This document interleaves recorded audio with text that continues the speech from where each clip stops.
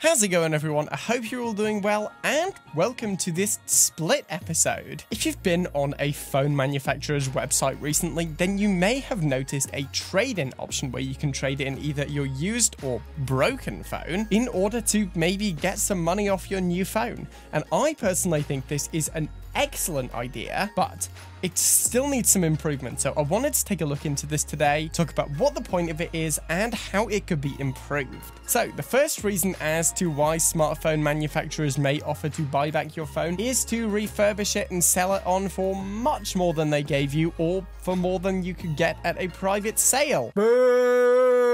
This is a terrible option and you should never do. The second option, however, is much better. So if you've paid attention to any of Apple's events in the last year, you may have heard that they now recycle all of their rare earth elements and other precious metals. So where do you think they get them from? I'd be willing to guess a big source of a lot of these precious metals is from old broken phones. These rare earth elements include, but aren't limited to, gold, silver, platinum, yttrium, terbium, and dysprosium. Other fun facts, if it's beyond salvageable for use in the phone, certain chemicals like potassium nitrate, which is used to give Gorilla Glass its strength, may be used as well, although I can't verify this. Now, of course, unfortunately, this isn't all environmental. Assuming around 0.034 grams of gold in an iPhone, purely in iPhones sold in 2018, this alone cost Apple 417 million. Hold on, I'm going to have to pull my notes out for this one. 417 million 515,368 dollars. That was a lot of numbers. And of course, this is assuming today's gold pricing. So there's another reason as to why smartphone companies might want your old phone. Now, of course, while all of this is good and it should be acknowledged, there is of course still a lot of badness in the tech production world. So while phones may be environmentally friendly, not exactly 100% ethical. What's more is, once again, you probably won't be paid for your broken phone. If you're trading in a phone and it's not basically fully working, then chances are, from what I've seen, phone companies won't really offer you much, if anything at all. That also needs to change because they're benefiting from your broken phone regardless. I mean, even if it's just a discount on a new phone purchase, some kind of incentive would be nice. So while I do like this system and I do finally like the fact that smartphone companies are being a little bit more environmentally friendly, I mean, there is a lot of rare stuff in technology that isn't easy to get. So the fact that some of these companies are now recycling their rare earth elements is definitely a step in the right direction. Anyway, I said this was a split video and I wasn't lying.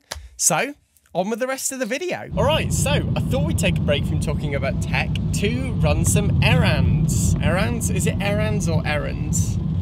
Errands. Errands sounds better. Also to use this opportunity to get the B-roll for what you just saw. And yeah, I thought it'd be fun to take you guys on the more day-to-day -day life.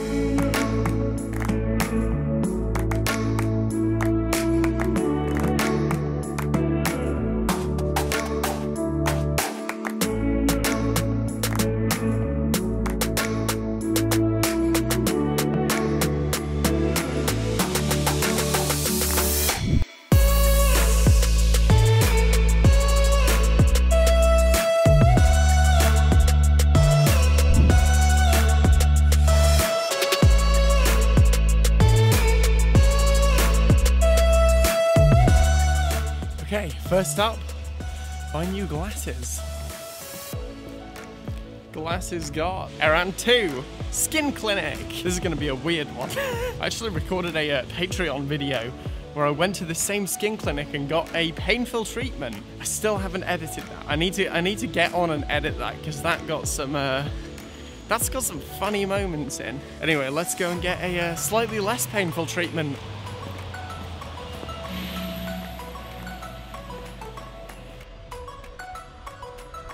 Alright, I'm back. Think I'm gonna make a coffee now. In fact, I'm gonna make one that I've never made before. Let's make an iced Americano.